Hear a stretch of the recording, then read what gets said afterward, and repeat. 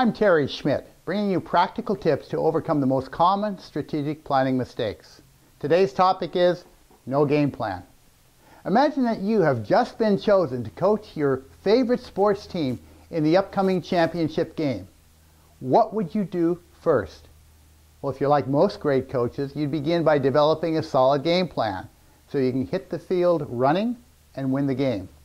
Strategic planning is no different. You need a good game plan in order to execute successfully. You might be surprised at how many strategic planning efforts begin without a solid game plan. As a result, they start slowly, bog down along the way, and never reach their end result. No wonder strategic planning has such a bad name. I want to give you five practical tips for your game plan. First, clarify the key drivers and issues. Why are you doing this plan now?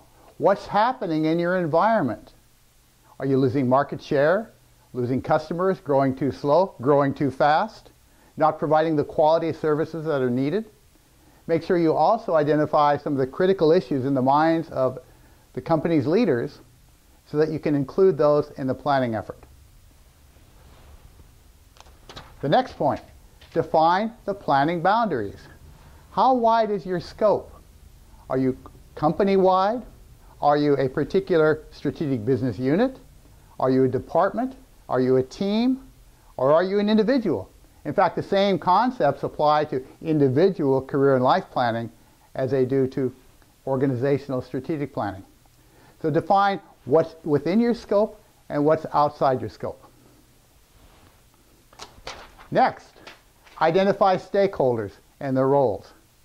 Stakeholders are anyone who's involved with, concerned by, or affected by the results.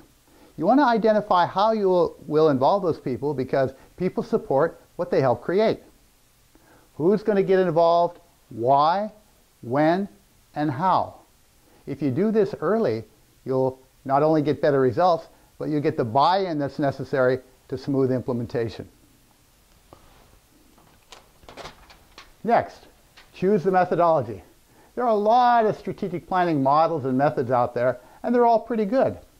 Choose the one that's right for you based on scope of the effort, sophistication of the players, time urgency, organization culture, and so forth. Take a look at several different models and see what fits. I recently volunteered on a task force for the Association of Strategic Planning, and we identified 10 characteristics of effective strategic planning models. The most important one is that it be based on a systems thinking framework. What that means is you begin with an environmental scan, you identify where you want to be at some point in the future, three to five years in the future. You take a look at where you are now, you look at the gap between those two, and you fill it with strategies. The final tip, identify milestones and next steps. Break your plan down into specific steps and phases, put them against a schedule, assign responsibilities. In developing this schedule, be aware of other things going on in the organization that will affect the timing, such as performance review season or vacation schedule, and also link it to other key processes, such as the budget cycle. If you do these, you'll have a winning game plan you can hit the field running and succeed in your marketplace. If you find those useful, check out some of the other videos in this series. And meanwhile, think big, plan smart, and act fast to get great results.